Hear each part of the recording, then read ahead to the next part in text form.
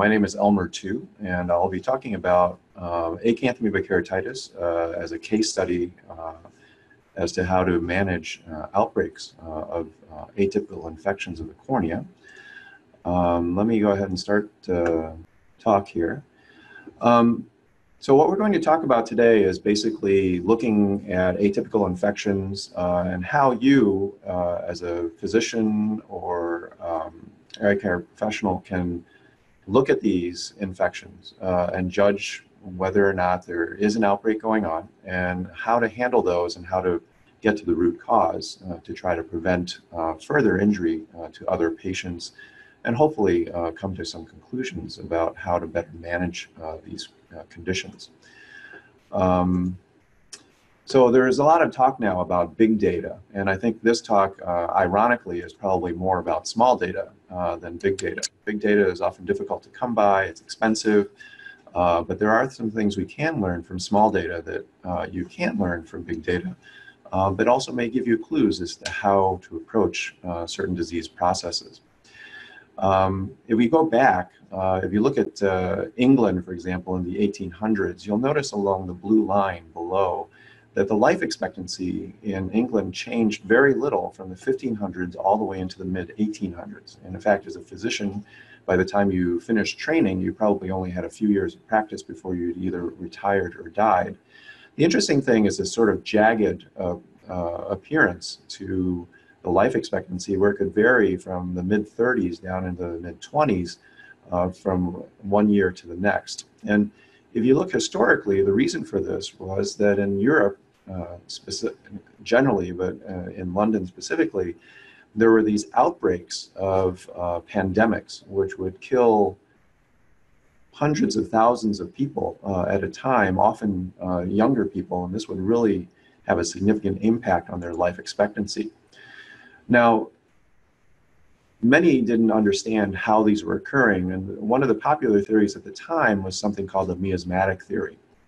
And that theory was that disease was transmitted through exposure to bad air, usually from foul or rotting organic matter.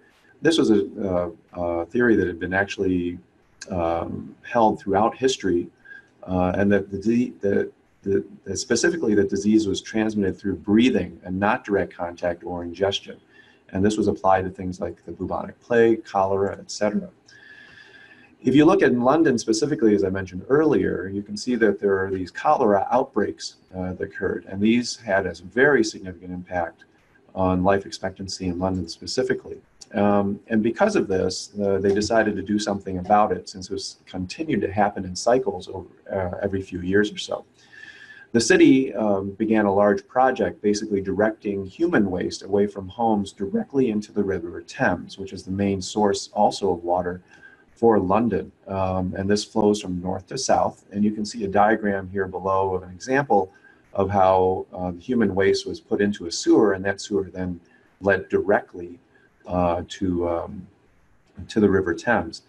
Uh, also, transport of water to homes was expensive, so most of London, as in many places, relied on central uh, taps, meaning or water fountains, where people would gather with their water for the day and then bring it back to their homes.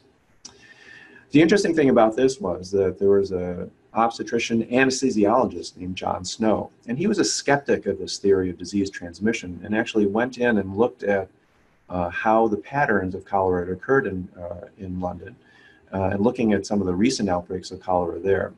He interestingly identified that there was a particular water company that supplied the south of London, at the south end of the River Thames in London, that was responsible for almost 50% of all the deaths in London from cholera. And from this, he felt that there was some other mode of transmission other than breathing in bad air.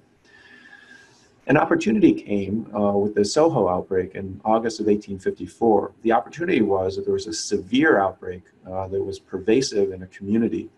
Uh, there, were, there were 127 dead within three days of the initial case, 500 dead within the first 10 days, and about 13% of all the people who uh, contracted the disease actually died. And you can see here in the diagram on the right, uh, from the outbreak, they basically were looking at all types of temperature, humidity, uh, wind gusts and everything else as a, uh, in order to look for a pattern that might have explained why this cholera outbreak occurred at that time. John Snow met uh, Reverend, Hen- Reverend Henry Whitehead, who was a pastor in a local church uh, that was a part of a commission that was brought together to investigate this particular cholera outbreak. He spoke with John Snow and he gave him uh, an idea of his theories and his writings. And he was actually a skeptic uh, of John Snow's supposition that the miasmatic theory was incorrect.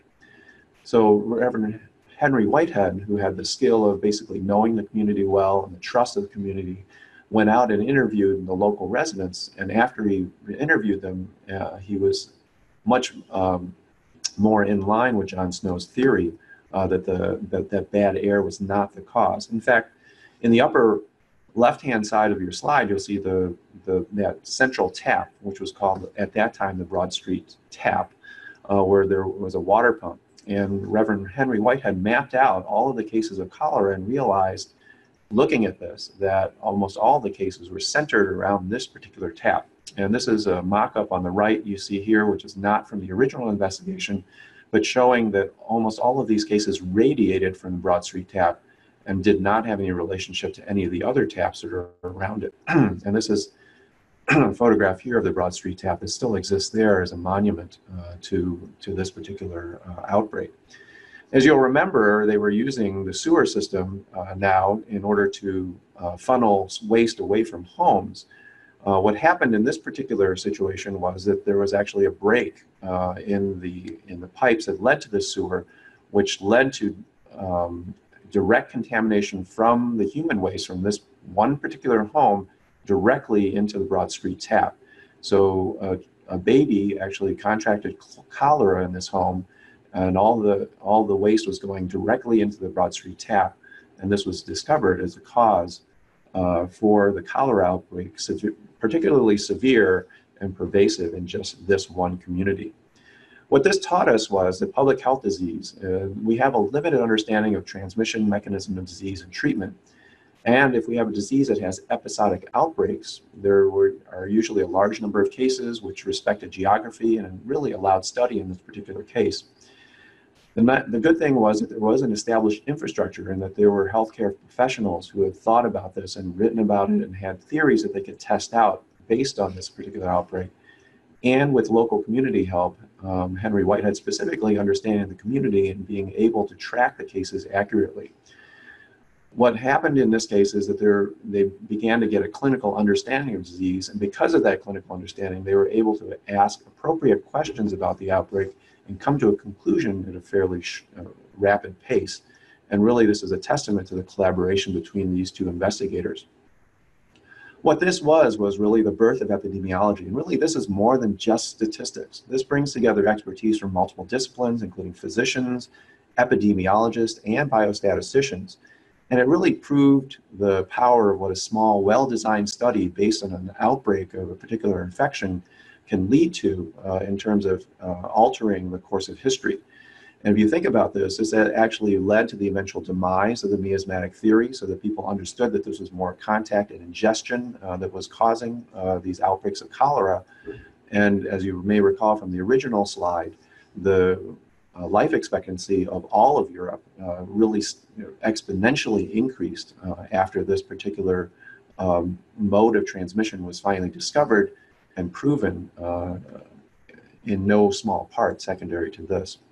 This has really led to our most recent uh, definition of an outbreak. And basically, this is the occurrence of more cases of a disease than expected in a given area or among a specific group of people over a particular period of time. So the important thing is that you need to, number one, establish what the disease is. So you need to establish what a case definition is, specifically what type of infection, how do you prove it, how do you confirm it. You want to confirm that those cases are real cases, and then you want to establish a background incidence of disease so that you can understand whether there's actually an increase and how much of an increase there actually is. It turns out that atypical corneal infections are actually ideal for this in a number of ways, and I'll explain why in just a moment. When we approach corneal infections, we know that these may be bacterial, viral, fungal, or parasitic. The characteristics are really fairly common to these atypical corneal infections, and they're, they're generally rare or uncommon diseases. They're often difficult to diagnose. They're unresponsive to commonly available medications. If they were responsive, they would just disappear and you wouldn't see them uh, uh, at specific centers. And these infections, unfortunately, are often unique to the eye because of the unusual character of the cornea uh, and, its, uh, and, and, its immune privilege. They really offer the, the greatest challenge to treatment, but they also offer the greatest opportunity for understanding mechanisms of disease. So let's take a look at acanthamoeba specifically. Uh, it's a free-living protozoa that's found in most sources of water and soil. We know that there's a seasonal variation based on uh, temperature and humidity. Uh, and this was really only first identified as an eye pathogen back in 1973. So this is a traditionally rare disease, the incidence we'll talk about in just a minute. Uh, it's easily traceable because it requires specific and special diagnostic modalities as well as specialized compounded medications. So generally these patients aren't going to randomly get better on their own. Uh, and so they need to go to a specialty area or a specialty physician in order to treat them. It's also primarily a disease of the eye. It's really rarely described as an encephalitis, cutaneous, or visceral disease. So there's really little help from the systemic medical literature uh, because of its rarity um, in terms of epidemiology and also treatment. Acanthamoeba outbreaks are actually quite similar to what you saw with cholera, and they, they out, they're generally outbreaks that occur in different periods in different places around the world. Uh, the most studied areas are probably in the UK um, with John Dart. Uh, there have also been a number of outbreaks here in the US, uh, specifically uh, across the US in the 1980s, and then most recently Iowa in 1992, and the current one that we'll be talking about today. So we're going to start off with a couple of questions. Who is at greatest risk for contracting acanthamoeba keratitis? Soft contact lens wearers who wear their lenses only during the day, soft contact lens wearers who wear their lenses overnight, gas permeable contact lens wearers who wear their lenses only during the day, or gas permeable contact lens wearers who wear their lenses overnight. And feel free to answer. Interesting. Uh, so we'll talk about this in just a moment, but in fact, the greatest risk uh, for contracting acanthamoeba keratitis is actually gas permeable contact lens wearers who wear their lenses overnight. And I'll explain why in just a moment. Here's a second question. How often is contact lens related acanthamoeba keratitis bilateral? That's never, 1%, 10%, or 25% of cases. 10% of cases, that's actually correct. Uh, there, although there is quite a spread here. Um, so let's go on. If you, if you look at what we've learned over history is that who gets acanthamoeba keratitis is a very important question because when you have patients who come in with unusual infections that are not easily diagnosed, if you go back to their history, this will often point you to the possibility or of acanthamoeba keratitis as being uh, their presenting disease process. It turns out that if you look at general contact lens wearers, that um, almost 85 to 100% of cases, depending on the study, are in contact lens wearers. The rates, however, are actually very similar between the two in general, meaning that soft contact lens wearers and rigid contact lens wearers or gas permeable hard contact lens wearers actually have a very similar incidence of acanthamoeba keratitis. But if you look at it, orthokeratology specifically in patients who wear gas permeable hard contact lenses overnight have a significantly higher rate of acanthamoeba keratitis than any of the other groups, uh, as, as I mentioned in the question before, and this may have to do with uh, tap water exposure of the contact lenses just prior to insertion at night uh, as part of most of the care regimens. And interestingly, if you look at most of the large series, bilateral disease occurs anywhere between 7 to 11% of patients with acanthamoeba keratitis, probably by far the highest rate of any of the pathogens that can infect the cornea. And this is probably because those contact lenses are kept in the same environment that's responsible for acanthamoeba colonizing uh, their contact lenses in the first place. The good news is, is that if you're a non-contact lens wearer, the rate of infection is actually quite low, somewhere around one per million adults per year. So moving on, uh, in historically, we know that there's a geographic variation to acanthamoeba. There, uh, in the Iowa outbreak, for example, they were able to identify uh, those areas that had the highest rates of acanthamoeba keratitis as being those counties that were flooded uh, in a recent upper Mississippi flood. Um, and also the use, interestingly, of municipal water versus well water. And so municipal water actually seemed to be a source or a risk factor, at least, for infections. And this is not surprising. Uh, much of the excellent work that was done by John Dart and Simon Kilvington in the, U in the UK showed that there was a significant geographic variation in England in their outbreaks there. And in fact, water quality had a significant impact on that in, the, in those areas where there was hard water that there was a much higher rate of infection, probably because of biofilm formation in the water supply. And really the nail in the coffin was looking at uh, several of their cases, 27 of which, where they went into the patient's homes and were uh, able to multi- do multiple samples of the domestic water tap, including showers, kitchen water, etc. And they found that in 30% of those that they were able to identify acanthamoeba in their home domestic water supply, and that six of those isolates were actually uh, identical genetically to the keratitis specimens who were isolated from the patient's eye. And what was pointed to was that these patients uh, all had these water storage tanks or rooftop cisterns that kept water in times of water shortage. Uh, and that acanthamoeba had a tendency to grow in those, uh, in the biofilm that accumulated at the bottom of those particular cisterns uh, as, a, as a source for their infection.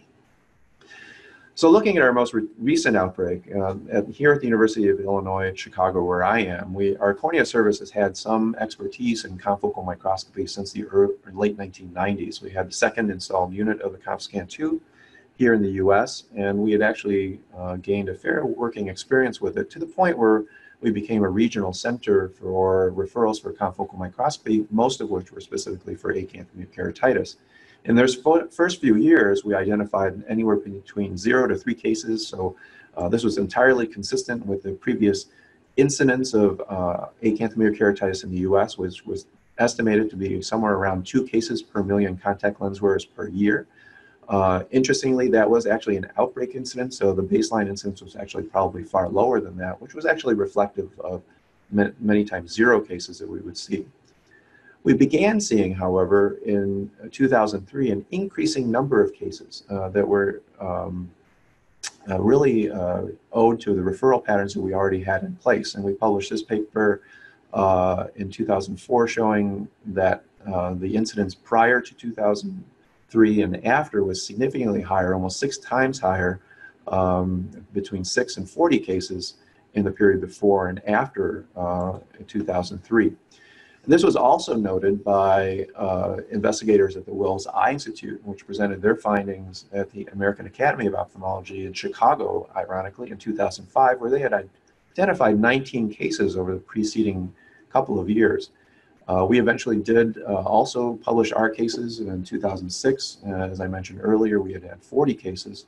You can see a patient here with an epithelial form of acanthamoeba keratitis in the photograph.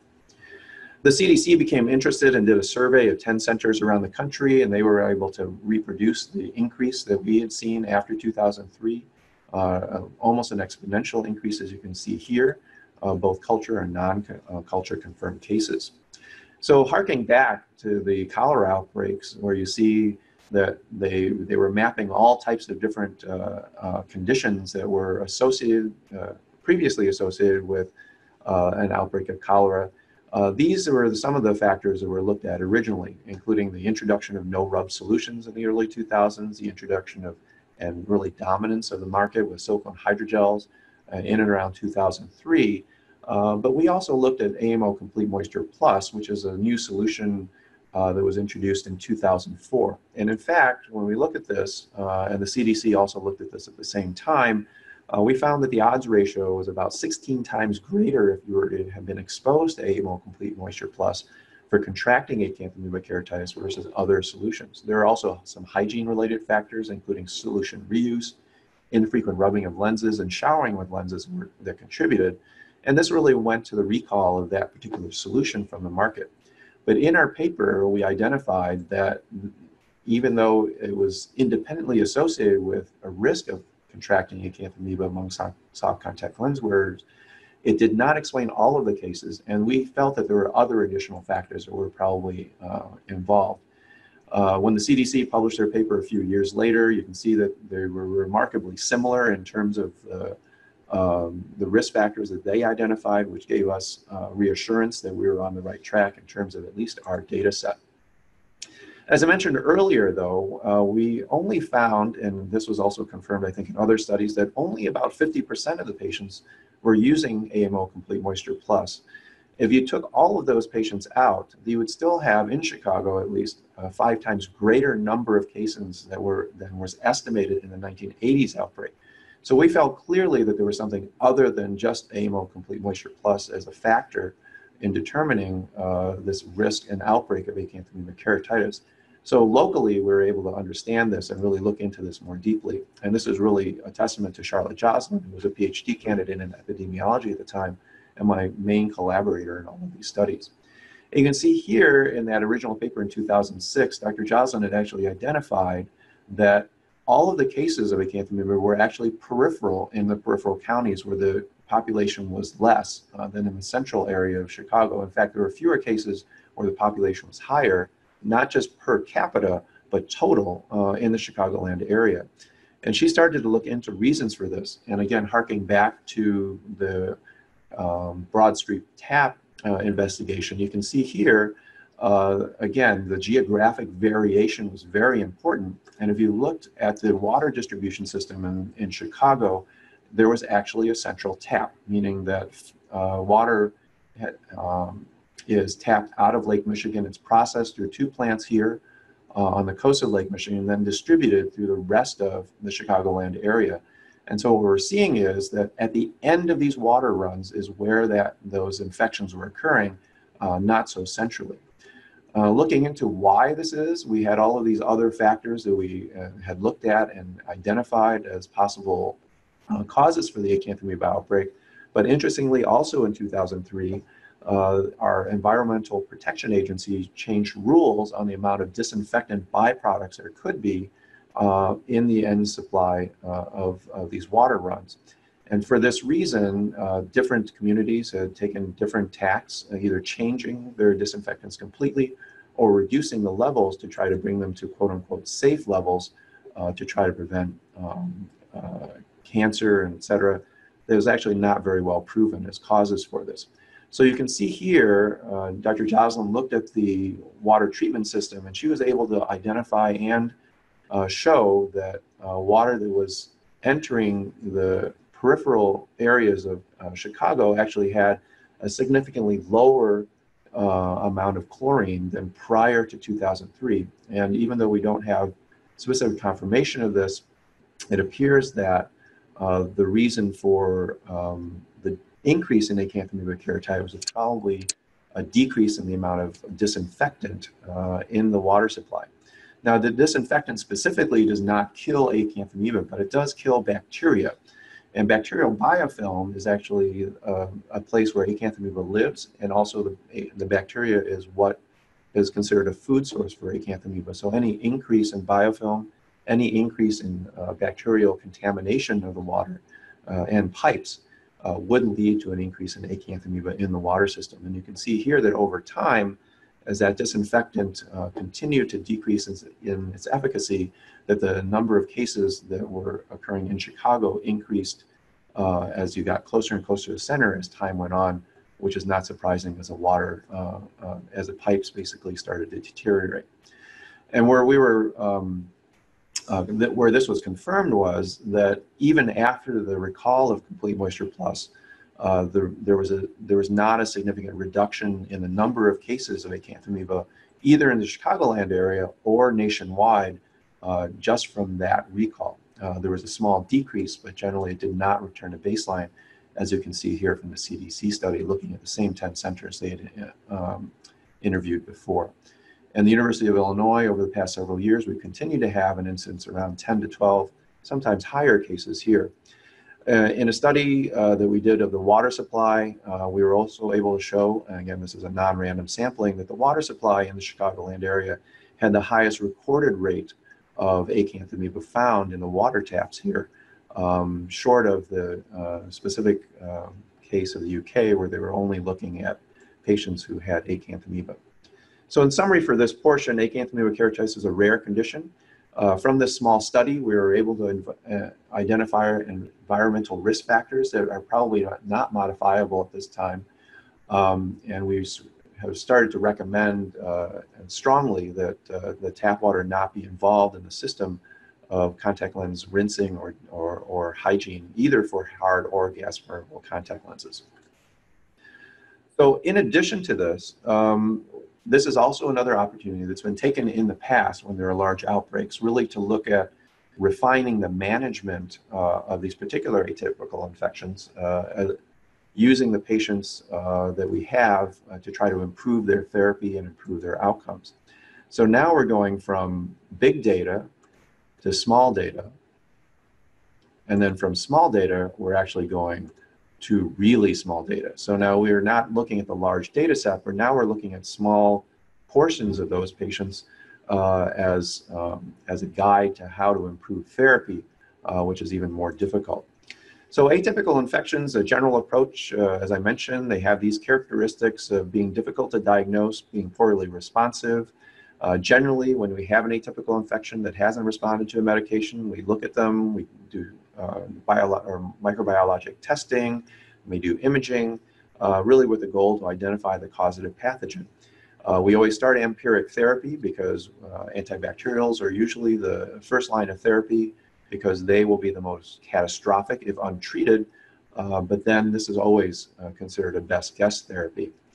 But if it fails that, then we have to try to see what the next step would be. One is if you've identified the pathogen, then you can determine a specific therapy, and based on historical uh, studies of efficacy, um, we can treat based on that. If, however, the pathogen is unidentified, then we have to keep guessing, and that includes other empiric therapy. There may be further diagnostics, diagnostics, and if it remains unidentified at that point, um, usually people will default to it being a herpetic infection or acanthamoeba um, or some sort of non-infectious process. And ultimately, if the eye continues to deteriorate, they may require surgery. So what have we done in terms of uh, advances in clinical management? Well, there are diagnostic techniques for acanthamoeba acanthamoeba keratitis, which vary widely and wildly between centers. In fact, in the UK at the time, they re- really did not employ confocal microscopy. It was heavily relied on here in the US. Um, and so it was when we when we published the study, there was always some question as to whether our cases really were consistent with cases of other large outbreaks, really to determine whether our diagnostic capabilities were correct and also whether our treatment outcomes were really uh, congruous with other centers and other previous studies. So the standard microbiologic techniques that we use for acanthamoeba include culture, histologic smears, pathology, PCR detection in some centers, and really, as I mentioned, in the US, uh, they have re relied a lot on confocal microscopy. And here is just an example of a Giemsa stain on the left showing the crenated uh, edges of an acanthamoeba cyst. You can see the same patient with the acanthamoeba target cyst that you see on the right. So we looked at our first 53 patients and we did all the tests that were available to us at the time, excluding PCR.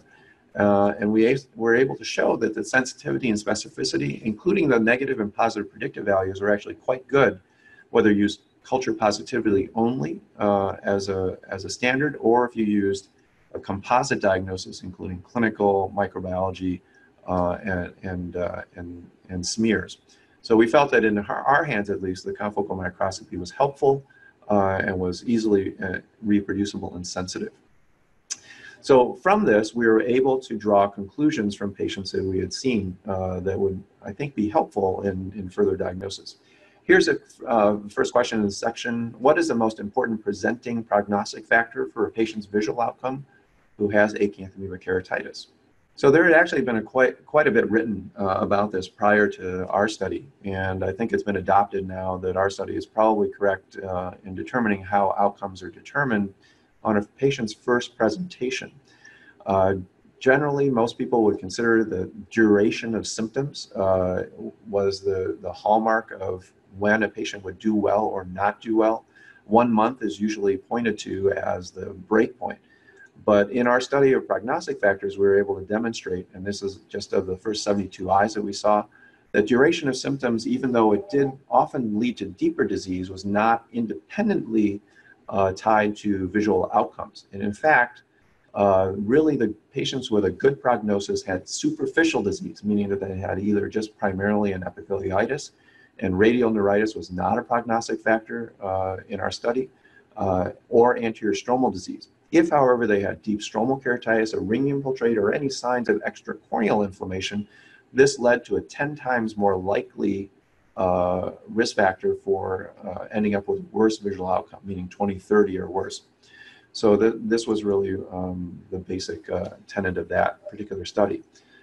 Next question, does having acanthamoeba keratitis confer immunity against future infections?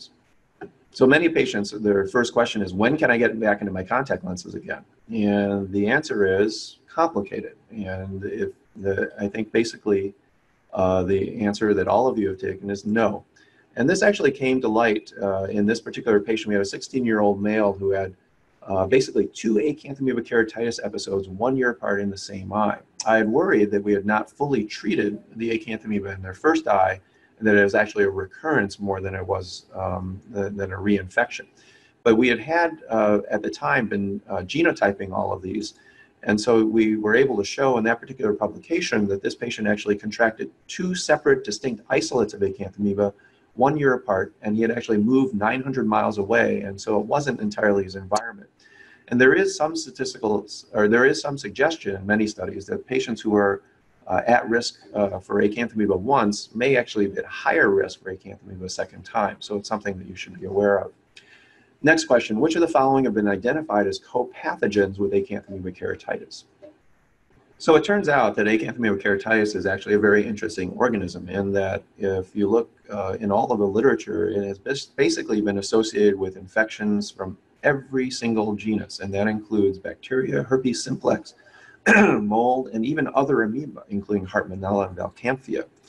Uh, this came to light uh, from the, this patient, uh, who was a patient of a colleague of mine, Sandeep Jain, here at the UIC Eye Center, an eye and ear infirmary, where a patient who was diagnosed with acanthamoeba keratitis was improving dramatically over a period of two or three weeks.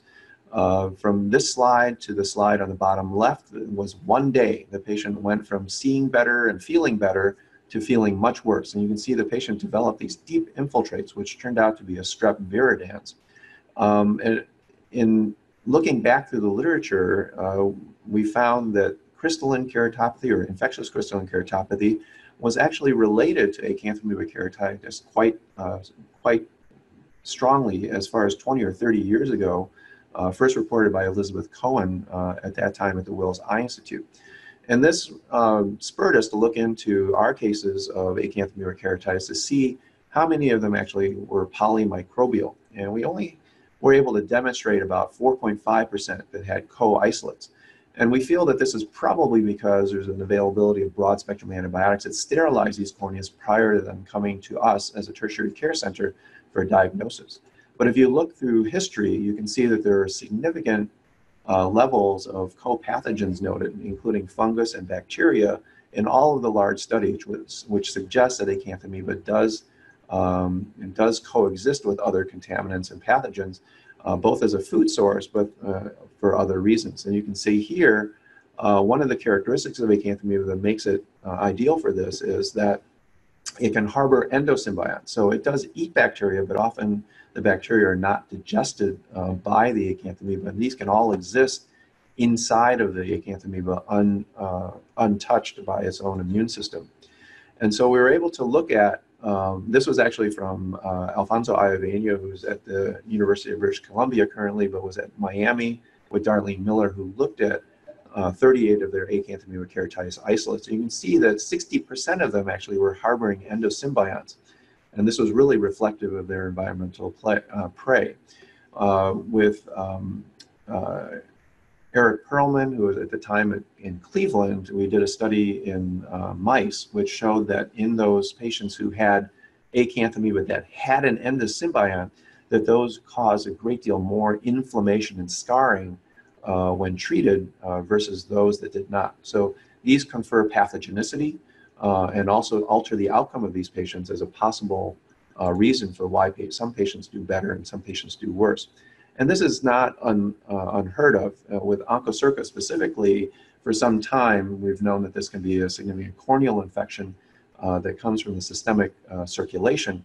Um, but interestingly, most of the scarring or the most significant scarring often occurs after killing the onchocerca. And it turns out that in these patients that or in these particular pathogens that they have um, an endosymbiont called Wolbachia. And treating the Wolbachia will often reduce the amount of inflammation that occurs because it's not liberated after uh, killing the onchocerca. So this brought to mind the question of whether or not patients should be on concurrent antimicrobial therapy. We know that bacterial copathogens are really the most common copathogen, Uh, other classes of organisms are certainly rare.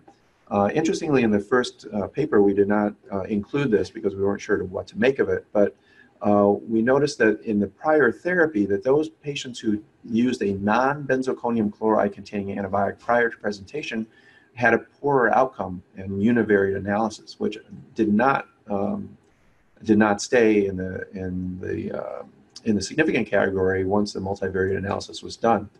So we looked at this as benzalkonium chloride, um, and we know that this is a hotly debated uh, um, additive in ophthalmic drugs. It's basically found in everything, including, including most anti-infectives. The interesting thing is that if you look at benzalkonium chloride by itself, it actually has uh, almost an equal efficacy to hydrogen peroxide for certain species of Acanthamoeba, while the fluoroquinolones have none. And so our supposition is that if you do treat early a patient with acanthamoeba keratitis with a benzalkonium chloride containing antibiotic, that you're probably getting some therapeutic effect from the benzalkonium chloride and not from the moxifloxacin. And you can see here a more complex graph showing that. Uh, but this is for many different species of uh, acanthamoeba, which it holds true for almost all of them, that it is effective. And it's interesting to think that moxifloxacin was also introduced around the same time. And then finally, if you look at uh, medical therapy and how we've been able to improve um, uh, the treatment of acanthamoeba keratitis based again on this small group of patients, um, the standard medical therapy we, we usually employed prior was mechanical debridement. Uh, this does help debulk the or organism load. It also helps confirm the diagnosis because acanthamoeba is an infection that takes a long time to treat and may have many ups and downs. And being unsure of the underlying diagnosis can certainly lead you astray in, in trying to treat something else or treating it differently. Um, we normally start with a combination of medications. Some of the milder cases will start with a biguanide, either uh, chlorhexidine or PHMB. Um, if you have available to you a hexamidine or propamidine, uh, we use these every hour. Now, the hexamidine and propamidine are diamidines, which are which have a significant surface toxicity. And you can see over on the right, the patient was actually getting a conjunctival burn here inferiorly.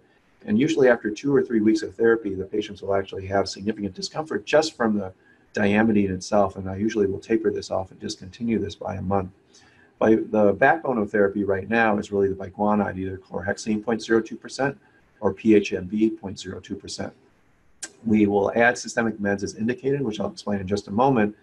And steroids are either eliminated or reduced at diagnosis. We know that prior use of steroids um, uh, prior to effective anti-acanthamoeba therapy uh, will worsen their prognosis, but it's unclear what to do with them uh, if they're already on them.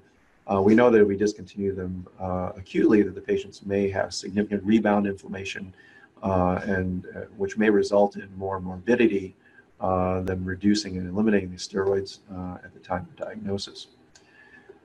So as I was intimating earlier, we are using 2030 as a, a vis, as a visual result. And if you look at uh, past studies, you can see actually the visual results in patients who are successfully treated for acanthamoeba are actually pretty good. You can see 2040 or better in most of the studies, uh, constituted uh, somewhere over 60 to 80% of patients. In ours, it was significantly higher. Uh, but if you look at all of these studies, however, there are some patients who do, don't do well, meaning that they end up with less than 2100 vision or uh, they end up with a corneal transplant or even loss of the eye. So we know that there can be clinical resistance to acanthamoeba keratitis uh, treatment and that up to 5% may remain persistently culture positive even with intensive and appropriate therapy for these patients. And this was published in 2002 and still remains true today. Voriconazole uh, was an agent that we looked at specifically um, from a, a paper that uh, Gordon Visvesvara from the CDC. Uh, let me see if I can get rid of this. Sorry. There we go. Um, we know from other ophthalmic uses that it has high bioavailability. There's an oral and an IV form. Uh, it's good that it has equal tissue levels, regardless if it's given intravenously or orally. Uh, it's been extensively studied for the use in, in endophthalmitis locally when it's administered intravitreally. Um, based on the paper I was mentioning, which I'll describe in just a moment, uh, it's actually the first paper and reference listed on the right here. Uh, it does have clinical activity against acanthamoeba and was used in a cocktail uh, of other drugs to, um, to combat uh, acanthamoeba encephalitis successfully in a few patients. Um, there are significant mixed results, however, in, in vitro sensitivity testing, which really uh, is inaccurate uh, at this time and, and unstandardized. Uh, so in vitro sensitivity testing uh, is often not helpful in identifying whether a compound is effective or not, but may be helpful in identifying candidate compounds if you choose to use them uh, in the treatment of acanthamoeba uh, in the future.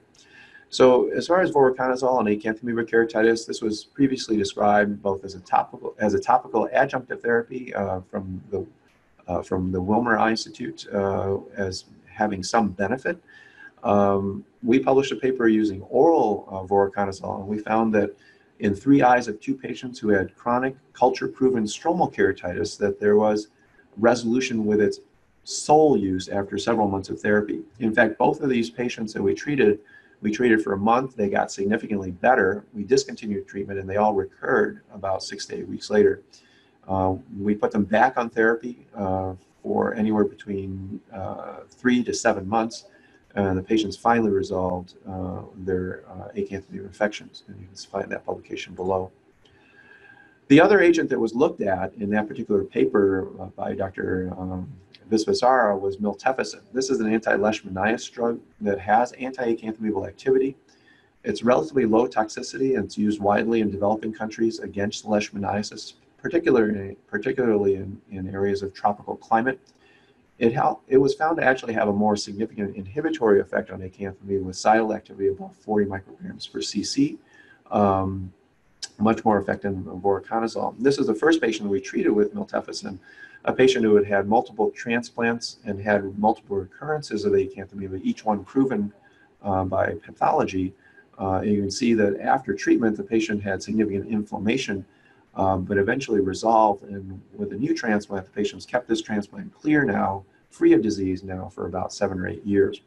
And so we feel that this is uh, another alternative for therapy. Other alternative therapies include uh, caspofungin, pentamidine, which have been used in the past, which I think there's much less experience with at this point. Um, uh, I should say a brief word about cross-linking and corneal surgery. Uh, collagen cross-linking uh, has been uh, used in many centers as an adjunctive therapy. It is not a primary therapy for many infections, uh, and specifically for acanthamoeba. Um, we know that it does the riboflavin and um, wavelengths and energy that are delivered for a standard cross-linking really don't have significant effect as against acanthamoeba cysts. Um, and it may have more of a collagen stabilizing effect. It may reduce pain by killing the surface nerves and may reduce inflammation by killing the white blood cells that are in the area uh, while the acanthamoeba is being killed by, uh, by chemical and medical therapy. Uh, surgery, uh, generally, we reserve that specifically for patients who have failed all other therapy. Uh, the prognosis is not great. Recurrence rates can be high, but they're significantly better than they were 20 or 30 years ago, simply because we have better medications now than we did then uh, to really take care of any residual infection that may be there. So in summary, we're going from big data to small data to really small data. But the important thing is that it be good, clean data. And this is probably more important than having a large data set that's sort of messy and, and uh, unverified. You want to have a team approach to planning, gathering, and analyzing data. And you want to take the time to think about that data and how to generate new hypotheses based on your own knowledge of not only the local, but also the disease processes, something that epidemiologists and biostatisticians uh, do not have.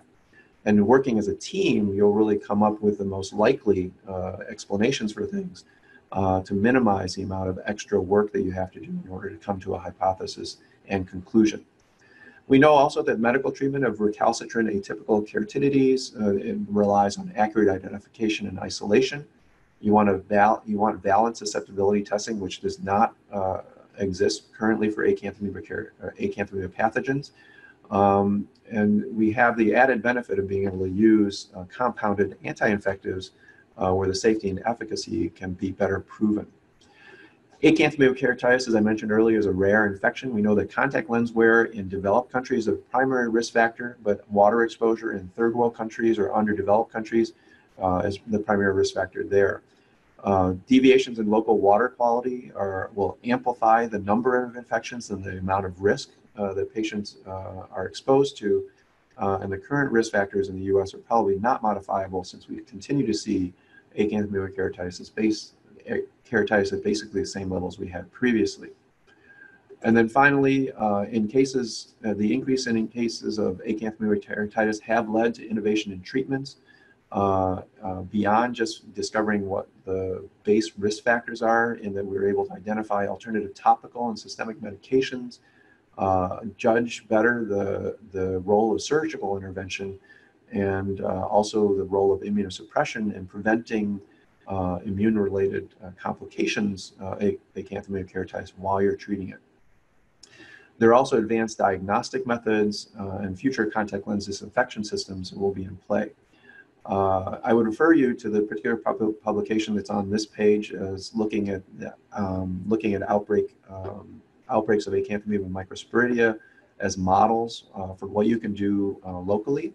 Um, and so please feel free to take a look at that. And so it's a complex um, tree here in terms of investigating something, but it's important that you have some infrastructure, that you have clinical expertise, and have good collaborators. Uh, and from that, you can really do a lot of good with a with uh, with a small outbreak. Uh, in terms of, um, for example, we've seen about 250 to 300 patients, but most of these conclusions we came to within the first hundred or so. So if you have something like that, there's a lot you can do with it uh, with, uh, with relatively small resources. Uh, so manpower and thought is probably your best, uh, best ally here. And I do want to acknowledge that this was this did involve a lot of different people. Um, without question, Charlotte Joslin uh, was a main driver of this uh, investigation. my partner and mentor, Joel Sugar, here at the University of Illinois, and then members of the Ohio State University, uh, and Case Western University as well. Um, all were involved in many of these investigative studies. Um, and I thank you for your attention.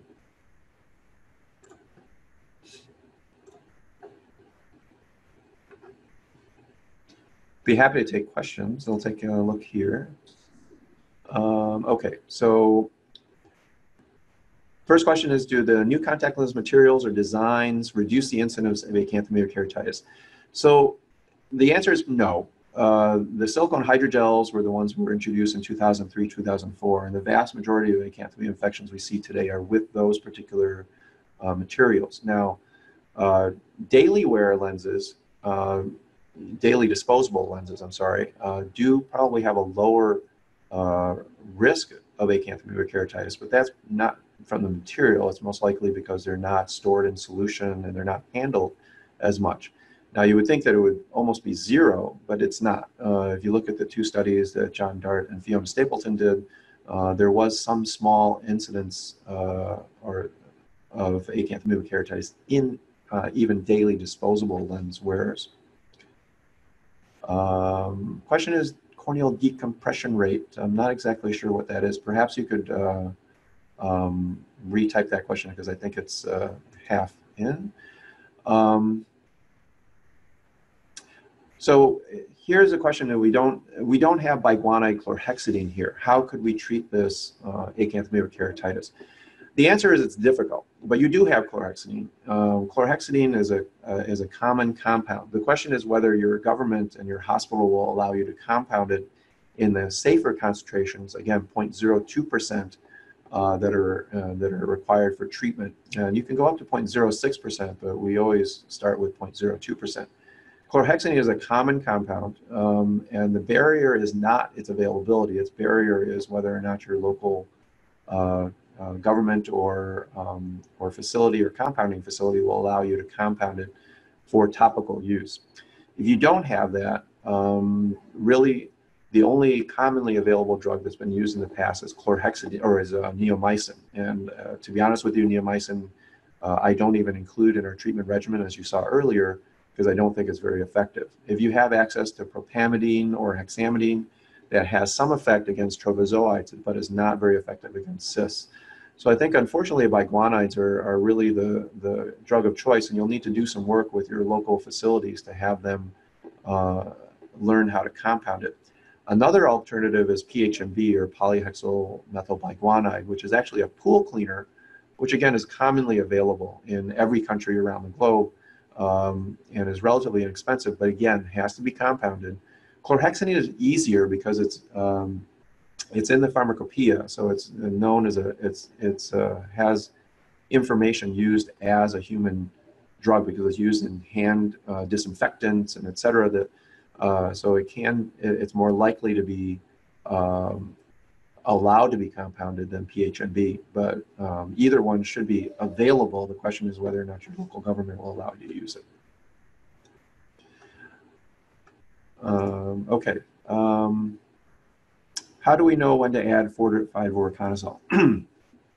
so if you have available either voriconazole or miltefosine, um, I, if you don't have anything available, I think voriconazole you can try. I haven't found the fortified topicals to be as effective as the biguanides um, and haven't used them very often. I've used them as an adjunct and haven't found them really to be the answer necessarily in even those patients. Um, so if you have nothing else, I think it's worthwhile to use that. Um, but my experience is really more with systemic voriconazole than it is topical. Um, but I think I would add it uh, if whatever treatment you have is not, um, after a couple of weeks or so, is not showing any effect. Um, neomycin, I answered. Uh, there have some been, have been some case reports of neomycin, actually maybe one case report in the past of neomycin being effective. Uh, but generally, in comparison to the current agents we have, including biguanides and the diamidines, uh, I think neomycin is very low, uh, has very low efficacy in this particular case. Worthwhile using if you have nothing else, uh, or as an additive if you can't get something, um, not terribly effective. Um, so anonymous attendee is asking about unresponsive uh, to conventional treatment. Uh, and that is where I was talking more about the voriconazole, the miltefosine. Uh, collagen cross-linking may be of some benefit in that particular case as well. Um, the prognosis, I think, for corneal transplantation in these cases is poor if they're not responding to medical therapy. Um, but continued therapy and allowing the acanthamoeba to, to um, cause other problems either in the adnexa or in the eye itself. Uh, corneal transplantation may be an option at some point um, uh, before the patient starts to develop glaucoma and other problems, including uh, intumescent cataract. Um, but those would be the things that I talked about in the talk as far as other potential treatments, the caspofungin, pentamidine, voriconazole, and miltefosine, as well as collagen cross-linking. Um, I, uh, you would have to look at the chlorhexidine mouthwash to see what's in it. They often have other agents in there, and I am not familiar with anyone using that. It needs to be in the proper concentration because, as you know, straight 3% chlorhexidine will rapidly cause uh, corneal death uh, within a few uh, seconds of its application. So at full strength, chlorhexidine cannot be used in the eye. So you have to be very sure about the concentration that, you, that you're using. It has to be 0.02%, 0.04% or 0.06%. Anything approaching the concentration that's used specifically for uh, hand disinfection or wound disinfection will rapidly cause the cornea to decompensate irreversibly. Uh, and so we see that uh, every now and then, uh, at least reports of it, uh, from people who use it in the eye in betadine allergic patients that is very, very toxic. So you need to be sure of the concentration and also make sure that the additives in there that are that enable to be used as a mouthwash uh, are, are not toxic to the eye. So um, here's a question about how to diagnose acanthamoeba keratitis clinically at an early stage. And actually that comes to the, it, that is actually the most important uh, aspect of diagnosis is really to suspect the possibility of acanthamoeba keratitis. So in a patient who has herpetic keratitis, for example, or something that looks like herpetic keratitis that doesn't respond appropriately to antivirals or persists beyond the week or 10 days that they normally would persist as an epithelial disease, or if they have a stromal keratitis that's not resolving uh, properly either with the use of topical steroids or the use of antivirals, uh, or if they're a contact lens wearer. So basically my answer is that if, if something if the patient has high risk factors uh, for acanthamoeba keratitis, including a history of water exposure or uh, or have had um, or, or contact lens wearers with a persistent infection that will not resolve with standard treatment, those patients immediately, the th- first thing that you should think about is acanthamoeba keratitis, whether it be an epitheliopathy or stromal keratitis, uh, and try to think of it early uh, and try to do the appropriate diagnosis or appropriate referrals to get that, the, the question of whether it is acanthamoeba answered. So really, I think the best uh, uh, advice I would have is basically to have the possibility of acanthamoeba in your mind as a possible diagnosis in every single patient, um, but not go chasing it necessarily in every single patient, but make sure that that's not at the back of your mind where you think of it two or three months later. And then finally, how could we prevent uh, waterborne, oh, not finally, uh, acanthamoeba keratitis? So um, specifically, it, there's not a lot you can do in terms of environmental water. If it's, I mean, it can be found in pond water, it can be found in domestic water, meaning water in your home.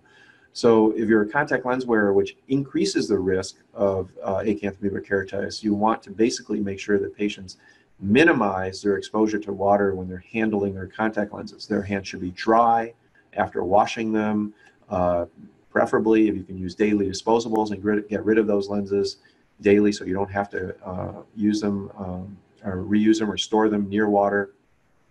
And also not to shower in lenses. So really exposure or limiting exposure is your best bet. If, however, you have acanthamoeba in your home water supply, that, that's a problem. It may be in the municipal supply, it may be in your home. Um, if it's because it exists in a biofilm, often getting biofilm out of pipes is very, very difficult. Replacing them, flushing them with formaldehyde are, are industrial ways uh, of getting rid of it. But once it's colonized, it's very difficult. So your best bet is really to try to avoid exposure uh, to water. And, you, and now bottled water, distilled water, those are not sterile. They, those do they, those may also harbor acanthamoeba. So you really need to have boiled water or filtered water uh, that, that will filter out these parasites for use in those particular um, uh, scenarios. So what sensitivity does confocal microscopy have? So uh, yeah, there was a recent paper. Uh, I can tell you, uh, um, I, I, think I was on that paper actually, but um, the it varies from center to center. And so for me, I use I am the one I am the technician, and I also read the read the confocals, and then also I take a look at corneal scrapings right after I do the confocal to try to get an idea. And that's really my experience, and I think there's it's unparalleled. So if you have the ability to actually do the scans yourself and actually look at the slides yourself uh, afterwards, that will give you the best experience in determining what specific structures you're seeing on the confocal is. If you saw my slide earlier, in our center, the sensitivity and specificity are quite high in the 90 to 80 to 90% range. In other centers, it's much lower, and I think it has to do, uh, many of these centers don't use, they, they use a technician who may not be imaging the correct area. Uh, so there, there are many different things you can do to increase your, your sensitivity and specificity uh, of confocal microscopy. And then finally, could this disease link to the swimming pool? In my country, there's more likely water contamination than contact lens wear. So the answer to that is yes. Uh, chlorine, as I intimated earlier, uh, which is the disinfectant that's basically been reduced, we think, here in the Chicagoland area, which has led to the increase, uh, does not directly kill acanthamoeba. Acanthamoeba is usually screened from the water supplies by filtration. So uh, depending on the type of disinfection of your pool water, yes, acanthamoeba could potentially live there very easily. Um, and so, you know, if water is not properly filtered, it's also going to get in there just from rain uh, um, washing into it and everything else. So yes, it could be linked to swimming pools. It can be linked to swimming in ponds. It can be linked to to swimming in the ocean. Even the ocean has uh, specific types of acanthamoeba that exist there uh, that are found. that are maybe slightly different from fresh water. So um, that's absolutely correct. In different countries, the, the risk factors are different. So um, if you have a patient who has a significant history of water exposure, who swims regularly or something like that, who has an unusual appearing keratitis, which may have some of the features of acanthamoeba, whether it be an epithelial disease or something deeper, um, that may be a risk factor that you'll need to look at as well um, as uh, leading to a possibility of acanthamoeba keratitis.